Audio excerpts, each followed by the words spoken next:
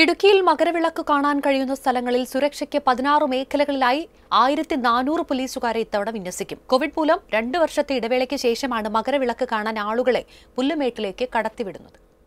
ഇടുക്കിയിലെ പുല്ലുമേട് പരുന്തുംപാറ പാഞ്ചാലിമേട് എന്നിവിടങ്ങളിലാണ് മകരവിളക്ക് കാണാൻ കഴിയുക. ഇതിൽ ഏറ്റവും കൂടുതൽ ആളുകൾ എത്തുന്നത് പുല്ലുമേട്ടിലാണ്. രണ്ടായിരത്തി ഇരുപതിൽ അയ്യായിരത്തിലധികം പേരാണ് പുല്ലുമേട്ടിൽ മകരവിളക്ക് കാണാനെത്തിയത്. വിവിധ വകുപ്പുകൾ ഏർപ്പെടുത്തേണ്ട ക്രമീകരണങ്ങൾ ജില്ലാ കളക്ടറുടെ അധ്യക്ഷതയിൽ വിലയിരുത്തി. മൂന്നിടത്തും സുരക്ഷാ ക്രമീകരണങ്ങളുടെ ഭാഗമായി ബാരിക്കേഡ് നിർമ്മിക്കും. കോഴിക്കാനം മുതൽ പുല്ലുമേട് വരെയുള്ള പത്ത് കിലോമീറ്റർ കാനനപാതയിൽ വെളിച്ചവും കുടിവെള്ളവും ക്രമീകരിക്കും.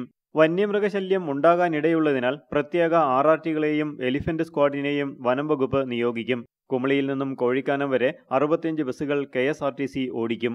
സത്രം വള്ളക്കടവ് ശബരിമല എല്ലാ ഏരിയയിലും നിന്നുള്ള പ്രവേശനം അന്നത്തെ ദിവസം രണ്ട് മണി വരെയാണ്. തിരികെ നാലാം മൈൽ വഴി മാത്രമാണ് പോകാൻ പറ്റുകയുള്ളൂ. യാതൊരു കാരണവശാലും ശബരിമലയിലേക്ക് പോകുന്ന ആ ഒരു പ്രവണത ഉണ്ടാവാൻ പാടില്ല. അതിനുള്ള ബാരിക്കേഡും മറ്റു കാര്യങ്ങളും അവിടെ അഡീഷണൽ ആയിട്ട് പോലീസിനെയും ഫോറസ്റ്റ് ഓഫീഷ്യൽസിനെയും ജീവനക്കാരെ നിയമിക്കാനായിട്ട് നിർദ്ദേശം നൽകിയിട്ടുണ്ട്.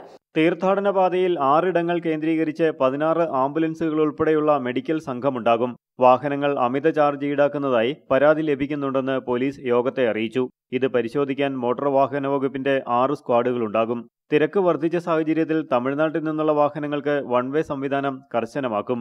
ഏഷ്യാനെറ്റ് ന്യൂസ് ഇടുക്കി.